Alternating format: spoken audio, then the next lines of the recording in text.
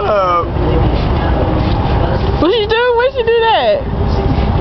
oh, um, on Martin, she said it was like, you got to go to work on Bob. you gotta go to work. No, what, what did Keyshia Cole mama say?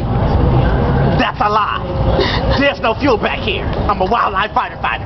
That's a lie. There's no fuel back here. I'm a wildlife fighter fighter.